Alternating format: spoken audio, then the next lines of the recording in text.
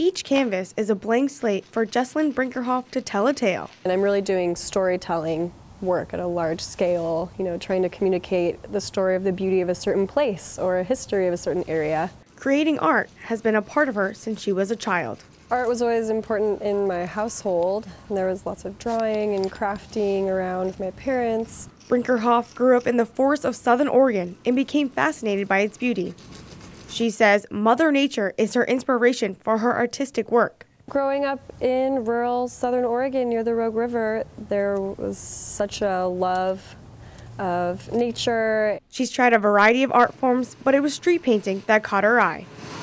I you know, worked in lots of different kinds of art, ceramics, painting, furniture building, but I come back to images because they're very immediate.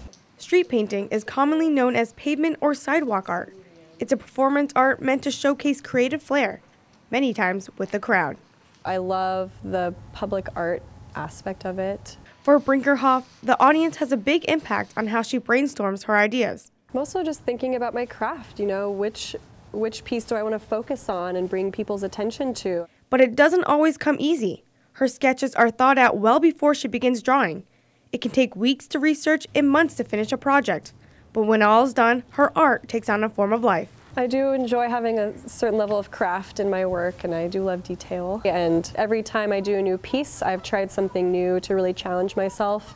And I'm like, yeah, I pulled that off. It's a celebration for her and open for everyone's interpretation.